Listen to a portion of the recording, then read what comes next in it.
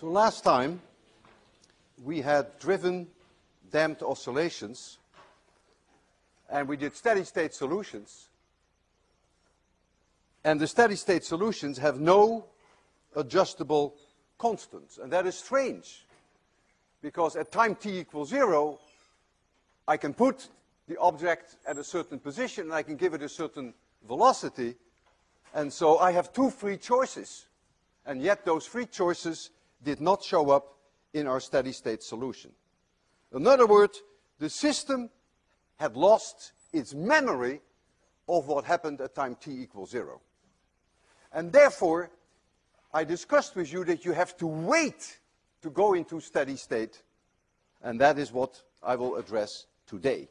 There must be something missing what we did so that the time t equals zero adjustables do show up.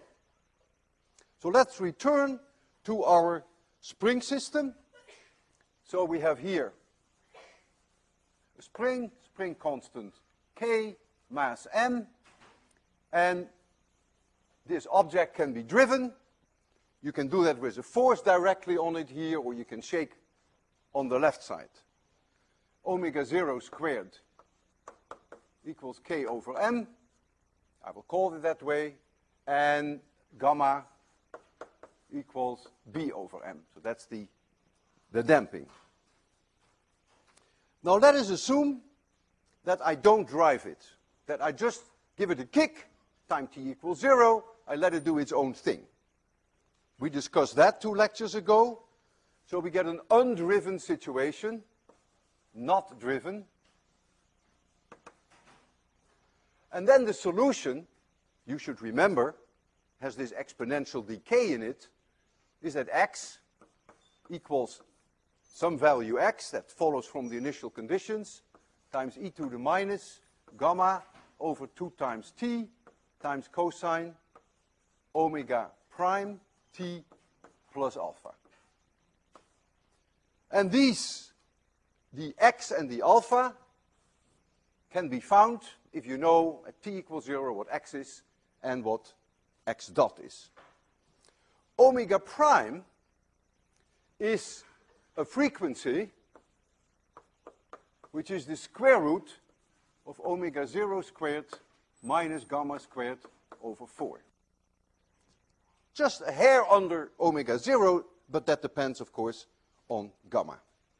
So this is the situation when we are not driving. Let's now take a situation that we do drive. So we drive, for instance, with a force that we apply directly to this object, which is one way of driving it, and that that force is F0 times cosine omega t. This omega is my omega. I force that omega on that system. I don't give a damn what omega prime is. I determine what omega is. And that's tough luck for this object. And we know that in the steady state solution, only this omega survives. That one will go. And the solution that we have seen that we derived last time is some amplitude A times the cosine of omega t minus delta. That is my omega. That is non-negotiable. This is the steady state and we derived that the tangent of delta was omega gamma divided by omega 0 squared minus omega squared. And we found for A this monstrous solution. Remember, upstairs we had F0 divided by M. And downstairs we had the square root omega 0 squared minus omega squared squared plus omega gamma squared. And we spent the entire lecture on dealing with this A. We changed omega and we evaluated omega equals 0, omega at resonance, omega at very high values. There is no adjustable constant in this solution. but there was one in that solution. Now let us look at the differential equations that we were solving. And so first we go to the undriven system. Undriven means that t equals zero, you give it a kick, and you just let it do its own thing. The differential equation that we then had was x double dot plus gamma x dot plus omega 0 squared x equals 0. That's the one we had. And we solved it, and we found that solution there. Then we were driving it, so now we drive it. What now was the differential equation? Well, we had an x double dot, gamma x dot, plus omega 0 squared times x. And now we had here this driving term. In the case that we directly put the force on the object, then we had here F0 divided by m times cosine omega t, because the m comes in because you divide by m, right? You had Newton's second law has ma. But in the case that you shake the left side with your hands, you know, with this eta 0 cosine omega t, that is another way of effectively driving the object. We work that out, then we have here eta 0 times omega 0 squared times cosine omega t. But in any case, you see here a driving term, and we solved our equations. And if you take this case, then this is the solution. If you take this case, then this takes the place of that.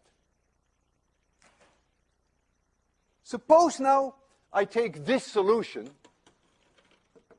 and I substitute that solution in this differential equation. Then I get the result is zero. Because look, forget this. So I put it in this part. I get a zero because it fits this differential equation. So what is wrong with adding zero? Therefore, if I add these two solutions, it must be a solution to this differential equation. Because you just add zero. And if you take 1803, then they use very nice terms. They say, yes, of course, if you have this special solution, which is this one, you have to add the homogeneous solution. And this word homogeneous means that you put a zero here. And so the general solution is really the sum of the two. By adding this one, you effectively add zero, so you add nothing, but you get something in return. And what you get in return are your two adjustable constants. So now you can deal with the situation that at t equals zero, you know exactly where that object is and what its velocity is. And so I will write down now the general solution, which is the one that governs a major part of the lecture today. So x now, function of time, is the steady state solution, A cosine omega t minus delta, this is my omega, that is my will, that's Walter Lewin's omega, plus x times e to the minus gamma over 2 times t times cosine omega prime t plus alpha. And this is the will of the oscillator, and this is my will. They are two different omegas. And now you can see what happens. You see that this term will never die out. This will last forever and ever and ever. But this one is going to die with a 1 over e time of 2 over gamma. And so if 2 over gamma happens to be 10 hours, then you have to wait 10 hours for this one to be down by a factor of e. But if t over gamma happens to be 1 millisecond, then all you have to do is wait 1 milliseconds for that term to go down by a factor of e. So this is the one that will die out. That's why we had to wait. And so this is called the transient. And it will die out faster the higher gamma is, And this is called then the steady state solution, which ultimately survives. Suppose I told you that at t equals 0, x equals 0, and x dot also equals 0, and I was so nasty to say, oh, by the way, uh, why don't you solve for x and alpha? Would be a very nice thing to do, but it would take you 15 minutes of grinding, not so fast, because remember, if you have an x dot, you have to take the time derivative of this entire function, and you have a t here, and you have a t there, and you have to substitute in there time t equals zero, and then you have to make that equal zero, and it takes you 15 minutes, and out pops indeed a value for x and a value for alpha. You haven't learned much physics when you do it, but you've learned some algebra.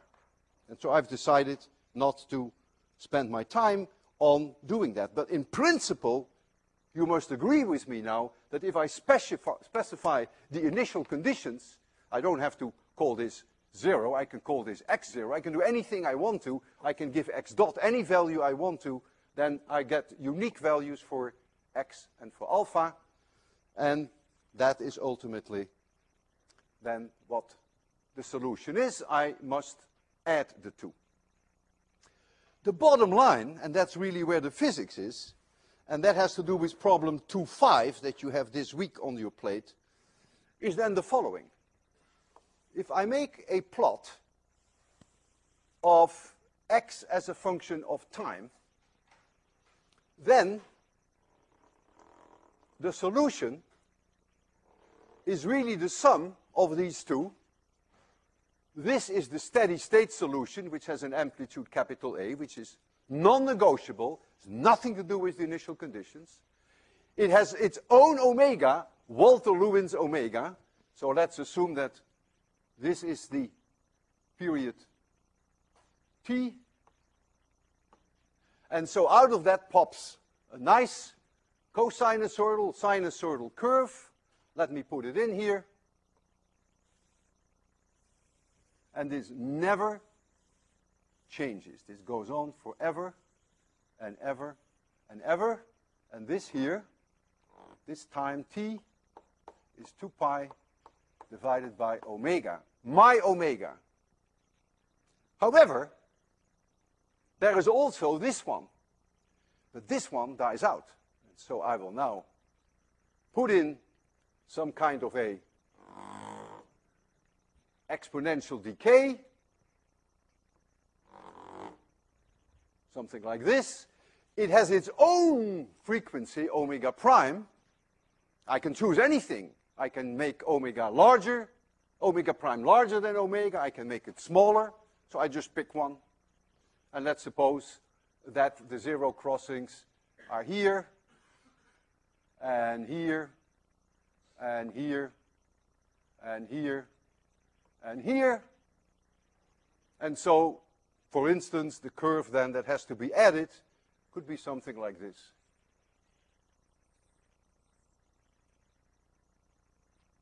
And this time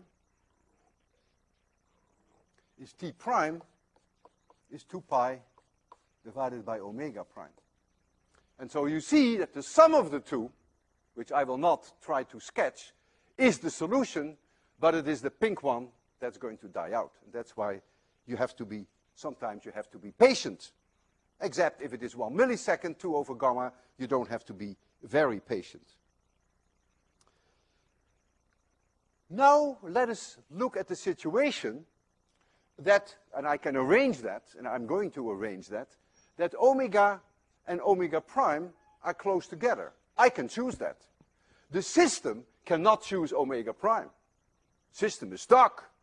This is omega prime. System has no choice. But I have a choice. I can make omega any value I want to. So I can make it very close to omega prime. What do you think is going to happen now? When I turn this system on, all of a sudden, the driver, and my omega is very close to that omega prime.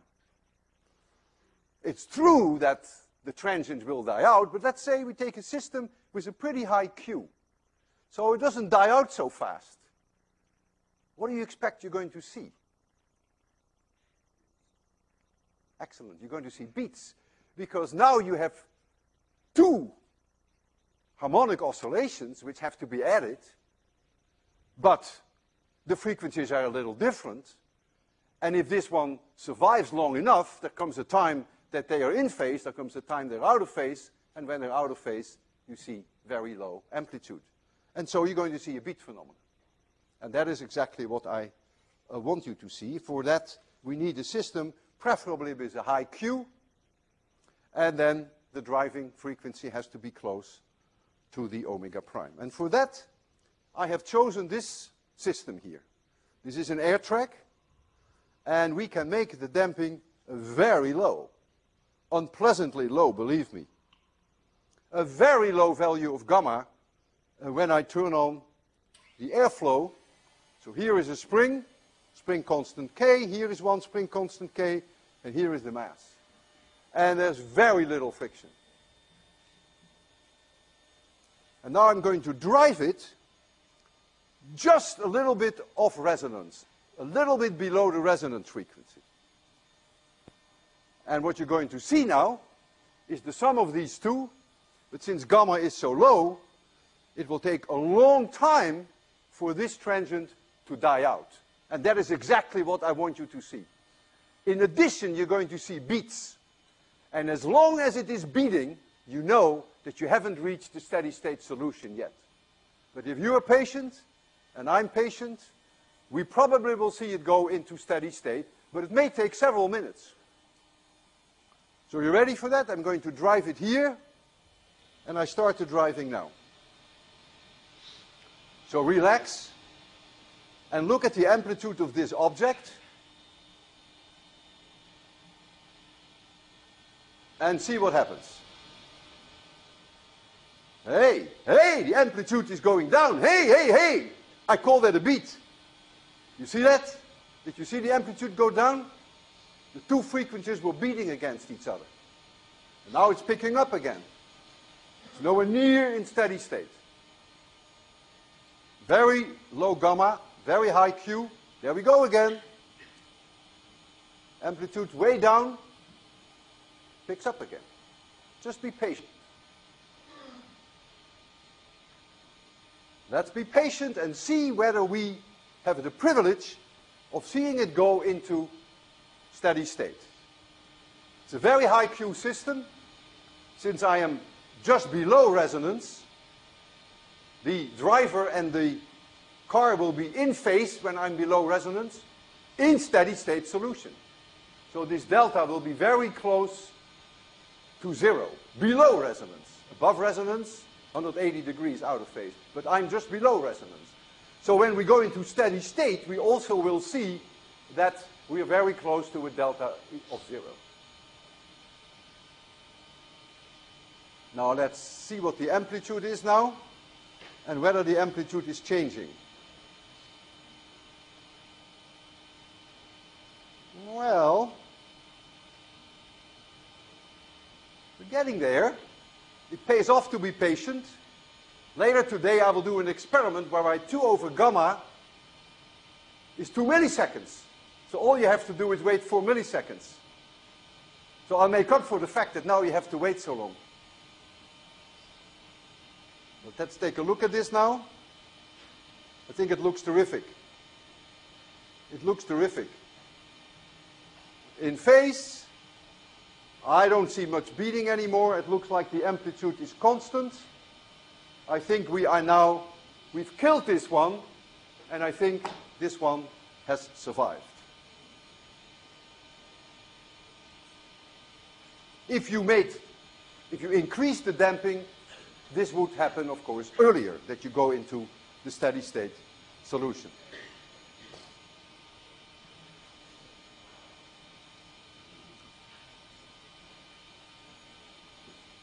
Looks great. I don't see any change anymore in the amplitude. So that's the A that you have there, capital A. And they're nicely in phase. It's a very high Q system. So the change to go from delta 0 to delta pi over 2 at resonance takes place over an extremely narrow range of frequencies. So they're still in phase. All right.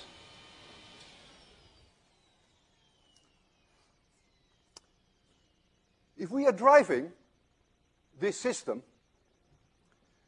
with a force, say directly on the object, F0 cosine omega t, then in steady state there is energy dissipation because there is friction. And where there is friction, there is heat. And that means energy. That means I have to do work to provide that energy. It's a steady state situation. So as the thing is never changing its A, just going on forever and ever, while that happens, I must put in energy, which comes out in the form of heat. So let us return to the good old days of 801. And I want to remind you that work is the dot product between a force and a displacement dx. It's a dot product. It's a scalar work. A little bit of work is done by this force if it moves over a distance dx. If the two are perpendicular to each other, then no work is done. Satellite into circular orbit around the Earth, no work is done. And so now I can calculate what the power is, because the power is dw dt, how many joules per second I have to put into the system. And so, if I take the derivative, time derivative, then I get f dotted with v, because the x dt is simply the velocity. Now, if I have a one-dimensional system, and what I mean by that is that the force is either in this direction or in this direction, and the velocity is either in this direction or this direction, that's what I mean by one-dimensional system, then I can delete the dot, and then the signs will automatically take care of the direction. A minus v is then this, plus v is that, and same for force. So I can kill the dot. So now, I have to know what the velocity is in the steady state solution. Well, that's easy because I go to the steady state solution here and I calculate what x dot is. So I put that here, x dot, which is v. So the derivative of cosine omega t is minus omega times the sine. So I get minus omega times a times the sine omega t minus delta. But that's the velocity. But I know what the force is, that is F0 cosine omega t. So there we go, F0 cosine omega t, but I'm going to put these in also now.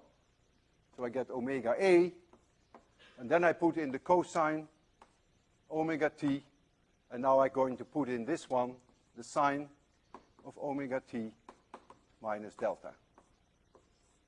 So take a deep breath. F0 cosine omega t is the force. See that there? And the velocity has been derived from the first derivative of the steady state solution. Gives me a minus omega a sine omega t minus delta. Now this, what we have here between brackets, can be written as the sine of omega t cosine delta minus the cosine omega t times the sine of delta. So what you see here between brackets is the same as what you see there. Am I really interested in knowing every moment in time what exactly the power is? Not really. Most of the time, I'm really interested in knowing what the average power is that is required to keep the thing going. Average over one oscillation or over hundreds of oscillations. That's really what I'm interested in, not necessarily the instantaneous power. In other words, most of the time, my interest is really in what this is. That is the time averaged value. And think of it as being one oscillation, that is fine, but you can think of it also as days. Now, I need some experts in the audience. I see here a cosine omega t, and I see here a sine omega t. What is the time average value of that product? The time average value between a sine omega t and a cosine omega t if I average it over one cycle or two cycles or three cycles. Come on. High school, yeah. What is the time average of sine omega t times cosine omega t? Time averaged over one period. Zero. This one times this one, time average gives me a zero. If you don't believe it, go back to high school, ask your high school teacher, he will agree with me. Here I see a cosine omega t, and I see a cosine omega t there. What is the time average of cosine square omega t? Ah, you guys are waking up. It's one half. So therefore, for this product, sorry, for this product, I can write one and a half. And so now we get, notice there is a minus here. And so this minus picks up this minus, so it becomes a plus. So I get F0. I get the half that is here. Then I get omega. I get my A. And I get the sine of delta. Are we happy with that? So you see it collapses into something that is relatively simple. What is sine delta? Well, I remember what tangent delta is. But if I know tangent delta, can I then calculate sine delta? And the answer is yes, of course. If this is delta, and if this is omega gamma, and this is omega 0 squared minus omega squared, then it only takes Pythagoras to calculate what this is. And so I know that the sine of delta must be omega gamma divided by the square root of omega 0 squared minus omega squared squared plus omega gamma squared. So yes, I do know what the sine of delta is. So now I can come to a close by substituting in here what the sine of delta is, and I can substitute in here what A is. Here is A. You know what is nice? Look at the downstairs here. It's the same as the downstairs there. So if I multiply them, the square root goes away. So, if I can write down now what P average is, let's go slowly. So we get F0 divided by 2. I get an omega. I will go to the A very shortly. I will first pick omega gamma here, which is my sine delta. So that makes this a square, and I get a gamma. And now I turn to the A, which is an F0 over M. So I get a square here, and I get an M here. And now I get this downstairs times this downstairs. The square root disappears, and so I get omega 0 squared minus omega squared squared plus omega gamma squared. Almost end of story. I'm going to rewrite it a little. And Tony French, in his book, rewrites it in, again, a different way. He loves to work with q's. He puts the q's in there. I'm going to div divide upstairs and downstairs by omega squared. And when I do that, I get f0 squared I get a gamma here. I get 2m here. And then I get here omega 0 squared divided by omega minus omega squared plus gamma squared. That's what I get. That's not the only way you can write it, but that's one way you can write it. Let me check that. I have f0 squared, I have gamma, 2m here, and we have this downstairs. So the time has come now to try to see through this equation. Remember last lecture we spent the whole lecture not to look at this dumb equation, but to see through it. And we were able to see through it, see all its idiosyncrasies. Let's look at the idiosyncrasies of this average power over one cycle or a multiple of cycles. Well, let us first make gamma infinitely large. Don't look even at the equation. Gamma infinitely large.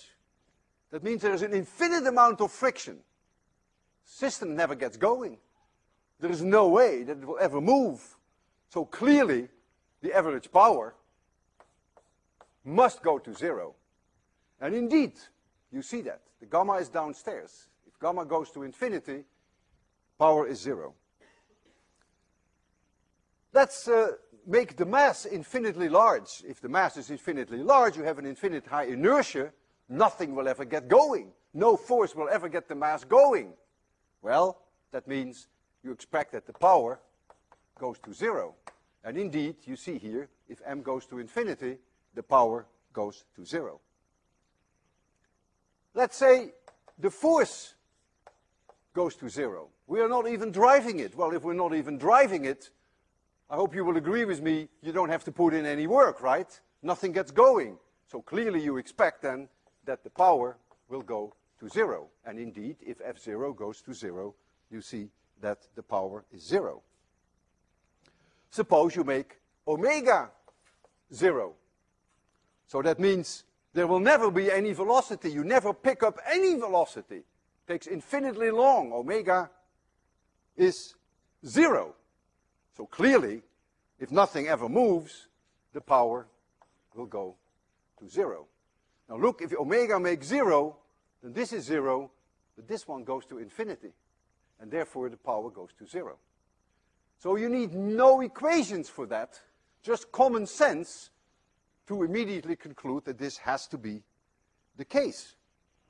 Suppose you go to infinity with omega very, very fast. Well, if you go infinitely fast, because of the inertia of the system, it can never react, can never get going. So I would predict that then the power must go to zero. And if you put omega infinity in here, this goes to zero, this goes to infinity, and so the power goes to zero. So all this is complete common sense. All of this you could have predicted without that equation, but isn't it nice that the equation supports my intuition. So now comes the question, if omega goes to omega 0, and that is the reason why I wrote it in this way, notice when omega goes to 0, when omega goes to omega 0, this one goes to 0. And therefore, that is the frequency at which the average power is the maximum ever, can never be any higher. Because it's independent of gamma, right, my omega. So, and when omega equals omega 0, we reach the maximum value for power. You can never go any higher. It's exactly at omega 0. And this is 0. You lose one gamma, and so you find that this value then becomes f0 squared divided by 2m gamma. And you can write that, rewrite that a little bit. I do that because Tony French likes Q's, and so I write it with a Q in there. Q is, remember that Q is omega 0 divided by gamma. So I can rewrite this as Q times F0 squared upstairs, so I get the Q in there, which is always nice, divided by 2m omega 0. So this is the same thing.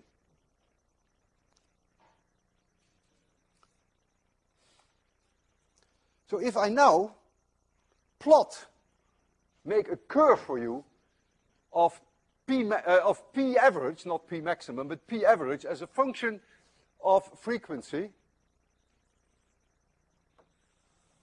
So here is omega, and here is p, p average, and here is omega 0. It goes through a maximum exactly at omega 0. It starts at 0, you see,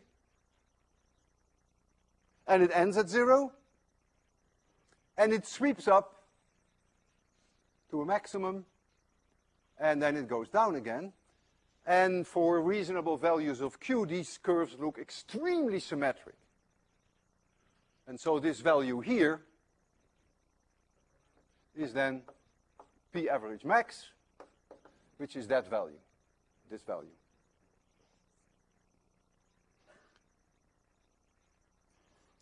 If we look at the width of this curve at half maximum of the power, so this is one half times P maximum, then you can show, and it is not so difficult algebraically, but I will not attempt it. You can show that the width at half maximum is very close to gamma. Remember, gamma and omega have the same units, one, one divided by second. In other words, if you go to half maximum, this point here is omega 0 minus gamma over 2, and this point here is omega 0 plus gamma over 2. And so you see immediately, which of course makes sense, that if gamma is very small, that the peak gets very narrow. And if gamma is very high, the peak gets very broad. That's intuitively quite pleasing. High Q systems, very narrow peaks. And that's the way that Tony French likes to plot his data. I will show you that on the overhead here. This is uh, just a picture from your book uh, what Tony does here, he plots not omega here, but he plots omega divided by omega 0. So that means the, the resonance is at 1. And he doesn't plot the average value for p here, but he plots it into strange units, into the unit f0 squared divided by 2m omega 0. So now he effectively can compare the vertical axis with the q value, because he likes the fact that it is q times higher than something. And he has plotted this in terms of that something. And so if you take the curve for q equals 10, which has the peak here in power, you see indeed that he finds that very close on his scale to 10. Notice also the nice symmetry. And you see for lower values of q, which are curves here, that indeed the peak gets broader. The width of this peak is 1 over q. Because remember, this axis is omega divided by omega 0. So if the width is gamma, on that peak, it is now gamma divided by omega 0 in this plot. And gamma divided by omega 0 is 1 over q. So here the width in this presentation is directly inversely proportional to q. So if q is 10, then the width there is 1 tenth. He then shows you another plot whereby he does what I did there. He plots it as a function of omega, not as a function of omega divided by omega 0. And then he emphasizes the fact that the width here is that gamma that I mentioned. At half the maximum power, you get here the width of gamma. And this uh, is a picture that I chose verbatim from your, from your book. This is the best moment for the break. That means the mini quiz.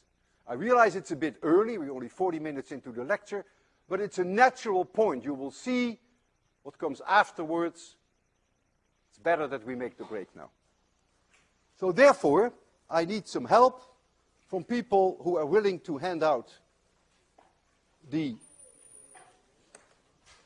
the mini quiz it would be nice if I can find the mini quizzes. I had them here, but someone took them. Oh no, they're still there. A nice conspiracy. Um, afterwards, after the break, uh, we will collect them this time in some boxes so that it's a little bit more organized. And so I'm returning to an RLC circuit, which we discussed earlier, good old days of 802. I'm going to drive it now, not with a, battery, but with an alternating power supply.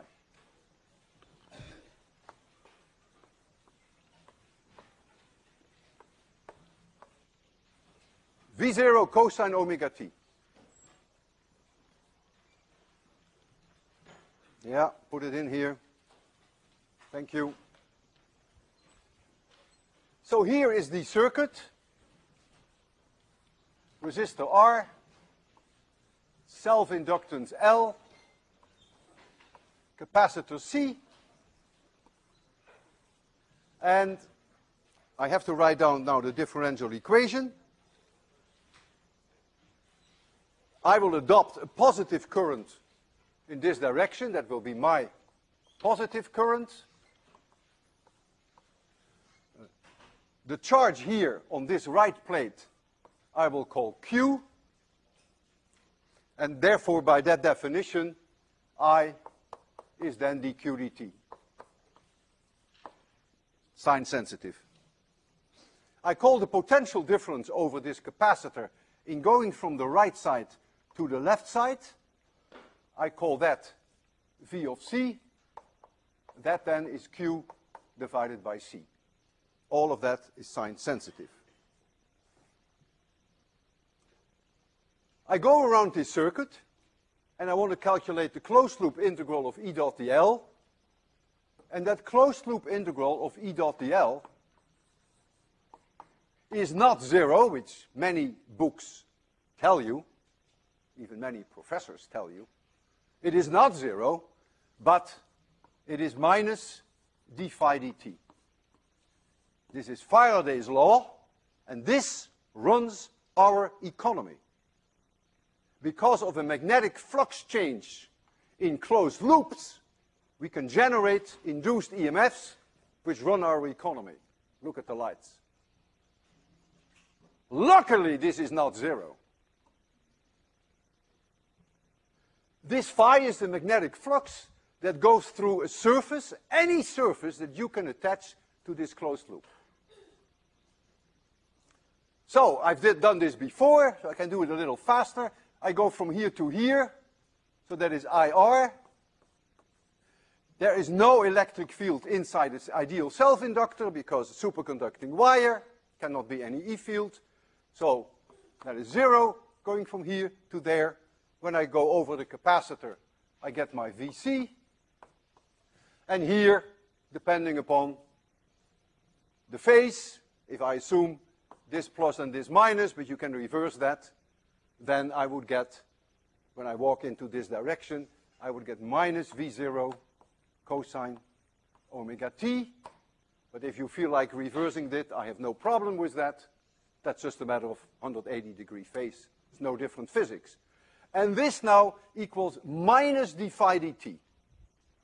The only thing when you apply Faraday's law is you should always integrate in the direction that you have your current assumed then it is minus LdI dt.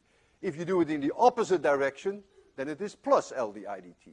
I have learned a certain discipline in my life. It took me many years, so you have a long way to go. And I always go in the direction of I, so I never have to think. So this is minus L di dt. This now covers the minus d phi dt. So now what I do, I bring the L in, and I take one more time derivative. And so I get L times I double dot plus R times I dot plus VC, but I take the time derivative, so the Q dot becomes I. So I get I divided by C. And that now becomes the time derivative of this function, but it goes to the right side, which makes the minus sign a plus. But when I take the derivative of the cosine omega t, I get a minus omega out. So I get here minus v0 times omega times the sine of omega t. This is the differential equation that has to be solved. And I will divide this out by L. I will take, divide everything by L. I will put the C a little higher.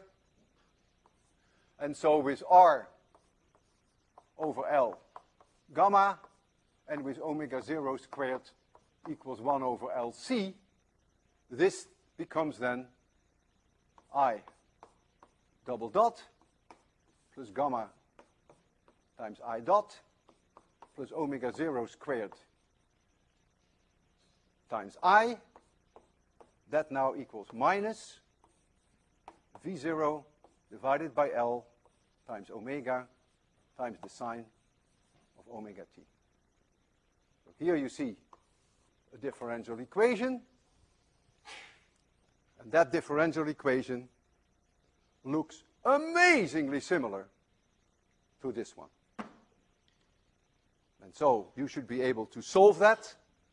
Have, in fact, you wouldn't even want to solve it. You can write down immediately the answer. You're going to get an I, which is an I0, which is, takes the place of that A there. This is a steady state solution now. I only go for steady state solution times the sine of omega t minus delta. No adjustable constants. It's a steady state solution that I have. Steady state. And I will leave you to find me I0, and you can work out what delta is. That is part of your problem set anyhow. But with the knowledge that you have here, you could write it down in a matter of seconds. So without my telling you what I0 is, at least working it out algebraically, we can talk 802. And then we can make all kinds of predictions without even looking at the equation. So that's interesting. So everything that I'm going to tell you now, I do without knowing what I0 is. And it better work out that way. Suppose I make omega go to zero. Remember 802? Remember the word, word reactance? That a capacitor has a certain reactance, which is 1 over omega c, which has units of ohms. And if omega goes to zero, this reactance goes to infinity. No current can ever flow. So I predict that I0 will go to zero. Suppose my omega goes to omega 0. Now your memory may fail you here on 802. But we have a wonderful demonstration in 802 that at resonance, 1 over omega c, which is the reactance of the capacitor, minus omega L, which is the reactance of the inductor, is zero. That determines actually the resonance. And when this is the case, perhaps you remember that the system doesn't even know there is a capacitor, and it doesn't even know there is a self-inductor. The two, at all moments in time, exactly cancel each other. And therefore, Ohm's law holds. There is no L, there is no C, there is only the power supply and the resistor. And so since Ohm's law says V equals IR, you must get I0 equals V0 divided by R. That is what you must get at resonance. It's non-negotiable.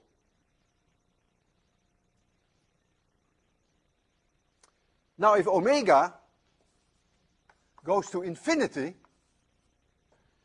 omega L says, ha ha, yeah, over my dead body. No current ever. Imagine a very fast changing signal.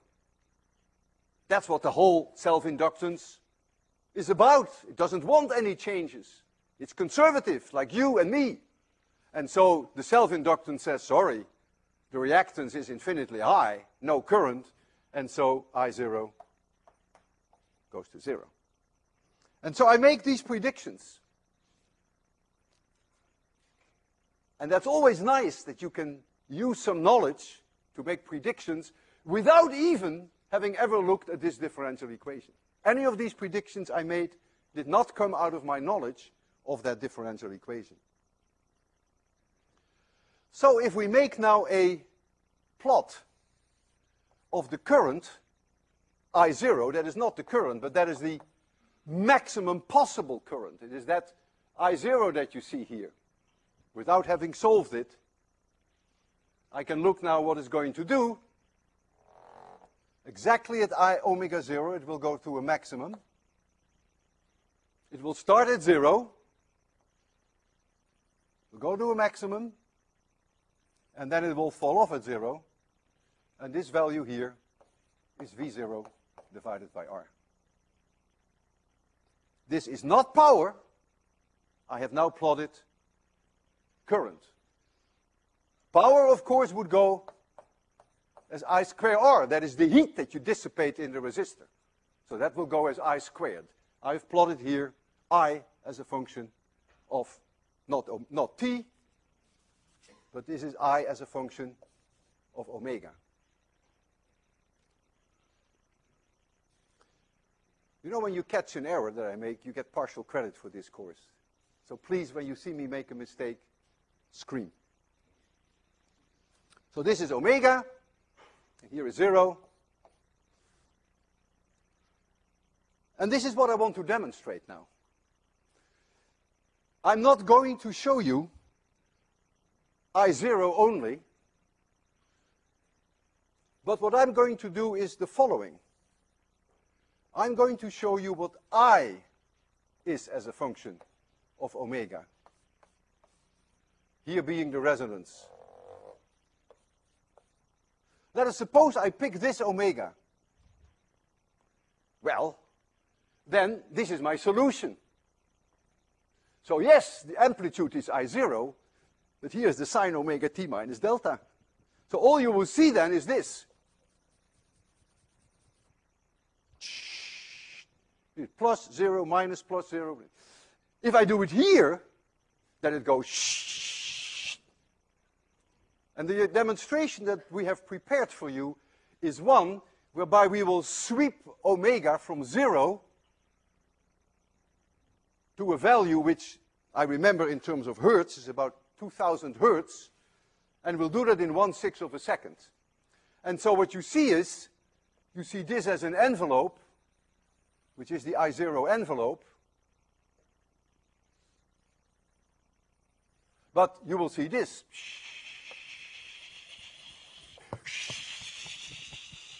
And then it sweeps back. And so you see two things. You will see the sine omega t term, but as omega changes, you will see it go through resonance, and then you will see it go over resonance. So I will give you the values that we have chosen. R equals 50 ohms. L equals 50 millihenry. And we choose C 0.5 microfarad, which is substantially higher than what we did before. And we choose C so high because we want a low Q system. Omega 0 is now 6.3 times 10 to the third. Is in radians per second. So F0 is about 1000 hertz. And we're going to sweep it from 0 over 1000, which is resonance, to about 2000, and then we sweep it back. And so the Q of this system, which is omega 0 divided by gamma, is about 6.3. And what the V0 is of that circuit is not so important. But it is 4 volts, but that's not so important. And what we're going to show you we measure the potential difference over a very small resistor, which is somewhere in that circuit, 1.7 ohms, I believe.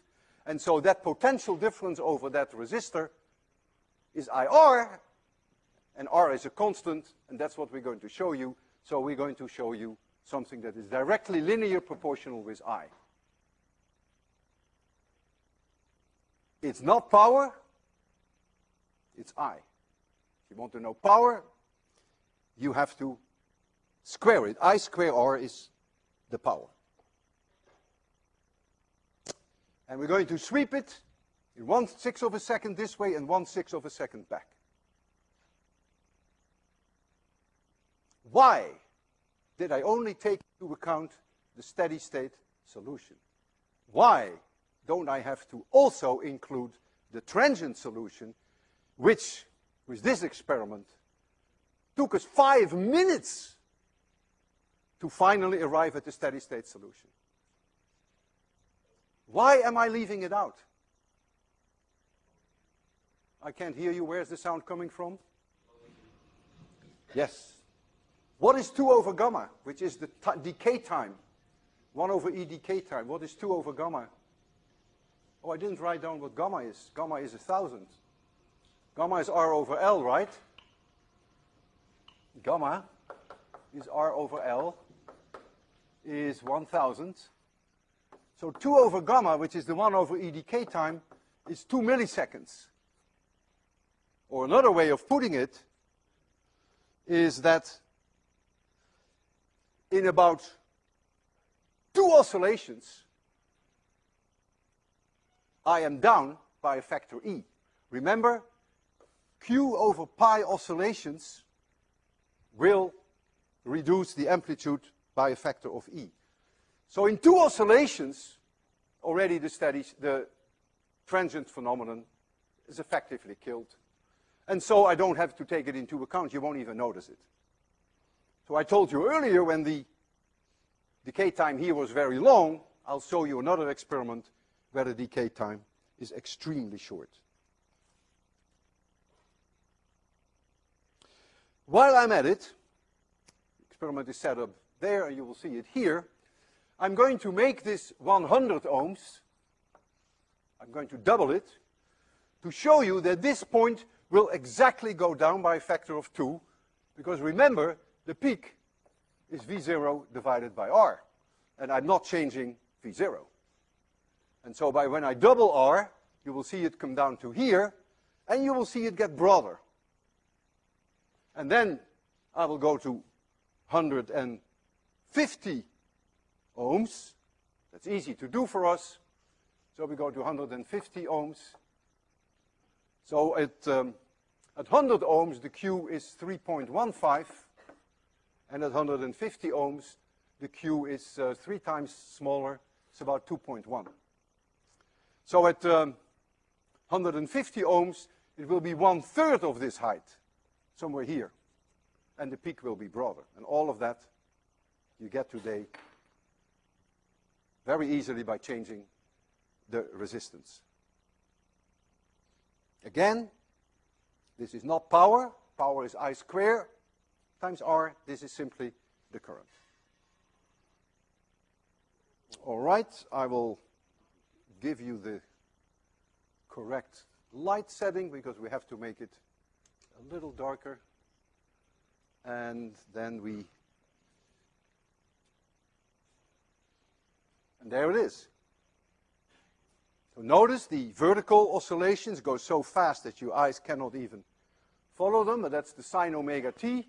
And then when it sweeps over resonance, you see very dramatically this value, which is V0 divided by R. Now notice on the scale here that Marcos has set the I0 at resonance at three scale units. So it's nice when we go from R 50 ohms to 100 ohms, it should go down by a factor of two, and you can check that. And when we go to 150 ohms, it should go down from three units to one unit. So you can quantitatively check this. And you will see that the curve gets broader because it has a lower Q. So now I will make it 100 ohm. You see it's down by a factor of 2 from here to here. And you may have noticed that it also gets broader. And now I will go to 150 ohms. And you see it's down by a factor of 3. And again, it is broader. So this is an amazing way how with RLC circuits you can do wonderful things because you can manipulate omega 0 very easily by changing L and C, and you can manipulate the driving frequency also very easily. So it is clear that systems respond strongly when they are exposed to their resonance frequency. We've seen that for pendulums.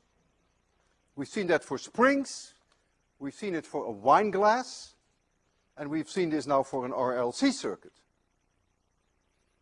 So these systems at resonance absorb a large amount of energy per unit time out of the driver.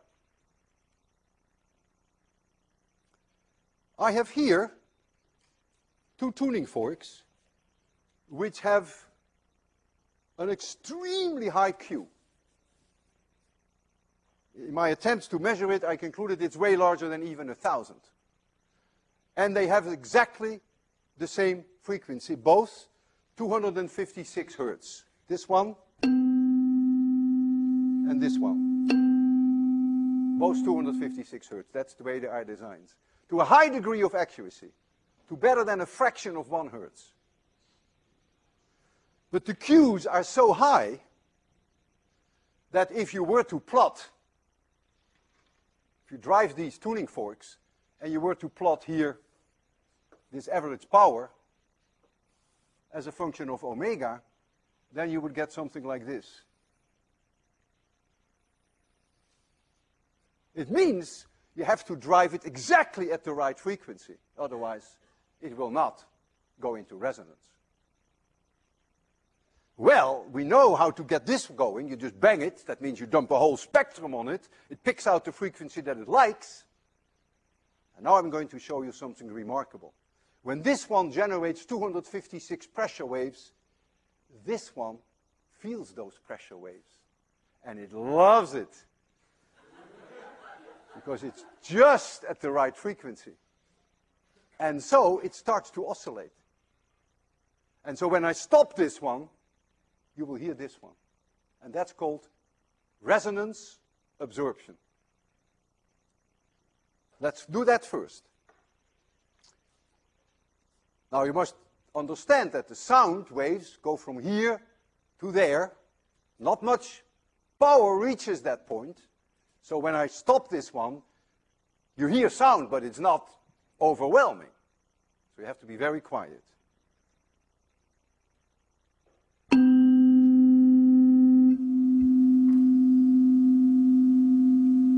hear it? And I can do the same by hitting this one, and then this one will start to resonate.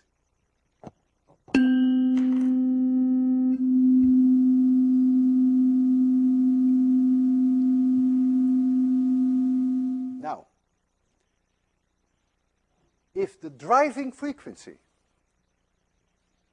is off by a fraction of a hertz, one hertz is enough. One hertz difference, because the Q is so high, then this system will not be able to get this one going. And I can make this frequency a little lower than 256 hertz by putting this weight on here. And we have measured the frequency at this loaded way it's roughly 255 hertz.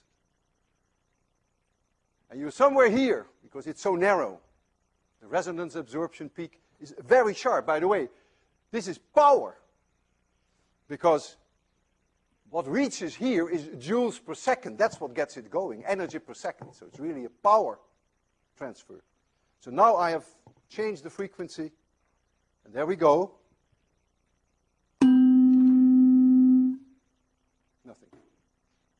Just change this by one hertz, and you hear nothing. Dead. So now you see, you get some respect for high Qs. If you want to get resonance absorption in a high Q system, you've got to be dead on that frequency. So if you, for instance, banged all the keys on the piano, and this one would be nearby, it would only start to resonate if some or one of those strings would, would produce exactly the 256 hertz. Otherwise, it would not. It ignores everything. It's only sensitive to that resonance frequency. You probably in high school have learned a little bit about atomic physics. And you probably know that electrons have discrete energy levels in discrete orbits in atoms. And you can excite the atom. You can bring an electron in a higher orbit, discrete orbits, which cost you a discrete amount of energy. And when the atom recombines, when the electron falls back, you get that energy back. Exactly the same amount that you had to put in. And that energy that you get back comes out most of the time in the form of what we call electromagnetic radiation. Now, I know that in 803 we're going to deal with electromagnetic radiation in the future, but it's enough for now that you know that light, infrared, UV, gamma rays, X-rays, all of that, radio emission, all of that is electromagnetic radiation. And so here, I have the energy level, energy increasing, and here is an electron in orbit. That's the energy of that electron. A higher energy state is when I bring this electron here. I cannot do anything in between. As quantum mechanics says, it's one or the other. And if this difference is delta E in energy, this E stands now for energy, then when the electron falls back from here to here, it emits electromagnetic radiation with this energy. But if I radiate onto this atom electromagnetic radiation with exactly that energy, then this electron can go from here to there. And that is called resonance absorption. Now let us stick for now to visible light. The higher the energy, the bluer the light is. Or, as modern physicists would say, the higher the frequency. And the lower the energy, the redder the light. The lower the frequency. So our visible light that we can see with our eyes goes all the way from the red, low energy, to the violet, high energy. Let's go to the sun. the sun radiates in the visible spectrum all the way from the red to the violet. But in the solar atmosphere are elements. And when these elements see just the right energy from that spectrum to which they are exposed, they love to take out of that spectrum just the right energy that gets them into an excited state, which is called resonance absorption. And so that energy is removed from the spectrum. So when you look at the solar spectrum, there are bands in the spectrum where the colors are missing. Absorption in the spectrum. Dark bands in the spectrum. They were discovered in 1802 by William Wollaston.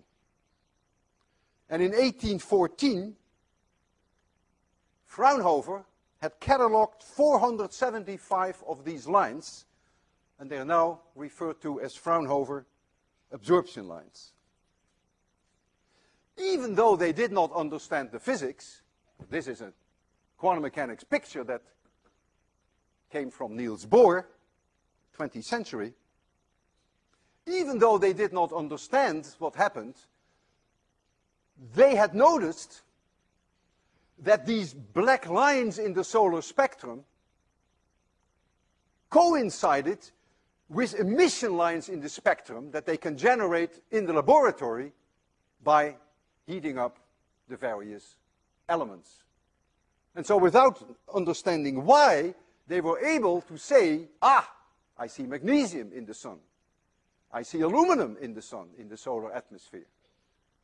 And so that opened a whole new industry of spectroscopy, which allowed astronomers to determine the chemical composition of the atmospheres of stars.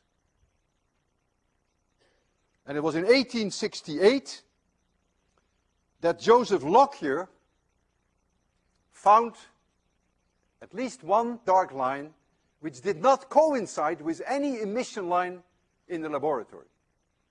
There was no element on Earth that he could say that must be the cause of that dark line. And so he called it helium, because the Greek word for sun is helios. So helium is an element that was first discovered on the sun before it was later found on Earth. I want to show you resonance absorption on the scale of an atom. And the way I'm going to do that, the setup is here, is as follows. We have a carbon arc. Think of that as being the sun, which produces a spectrum, a beautiful continuous spectrum. I will show you that spectrum all the way from the red to the violet. And then we have here a burner, and we're going to put table salt here on a grid, which dissociates the table salt, gives me sodium gas, that's what I want. Because sodium, when you heat it, can produce an emission line in the yellow. But if it can produce that emission line when the electron goes from here to there, it's the 11th electron, by the way, it's the most outer electron of sodium. It's 11 protons, 11 electrons. So if it can produce an emission line when it goes from here to here, it can also have resonance absorption, namely when it sees that yellow line, the yellow, the energy that corresponds with the yellow light, it sucks it up and it produces then a dark line. Because when it absorbs out of here this yellow line, it re-emits it almost immediately, but the re-emission will be in all directions, and so what is left over here is very little of that yellow. And so a dark line appears in the spectrum. And that then is an absorption line. It's power, what I'm going to show you, because light intensity, which I will show you there on that screen, is how many joules per second. So it is resonance absorption of power. Now there is a catch.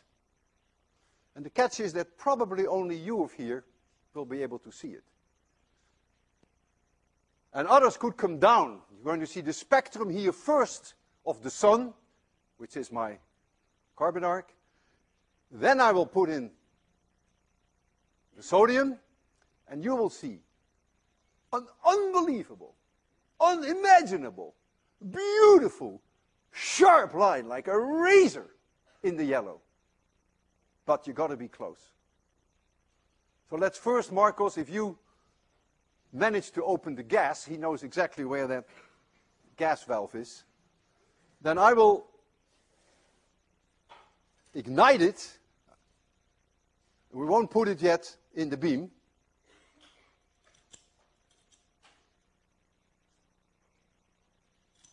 Okay. So we're going to make it completely dark. So here's, here are the salt crystals. And we're going to show you the spectrum there. We tried actually to make you see it here uh, on the TV, but it is, that didn't work out well. Okay, so I'm going to turn on the, the sun. There's the sun. Okay, now we make it completely dark and I will give you a minute or so for your eyes to adjust. So you see a spectrum here and you see a spectrum there. How we do that is our problem. and you will know how we do that in a month or so when you will learn about gratings. You will get a grating actually from us. There is a grating here, a wonderful piece of physics, which decomposes the light in colors, works way better than a prism, and you get one on the right side, and you get the mirror image on the left side. Look here, and let your eyes adjust. And then comes the moment of truth. I'm going to put in here now the sodium. Unbelievable. I see a line here. Sharp like a razor blade. Can you see it, Nicole? Isn't it incredible? Come closer, all of you, come closer. Look at that line. Come on, come out of your seats. Look at that line, and I will move the sodium out. Now I move the sodium out. And now I move it in again. And there it is. There it is. You see that? Isn't that amazing? And now I move it out. And now I move it in.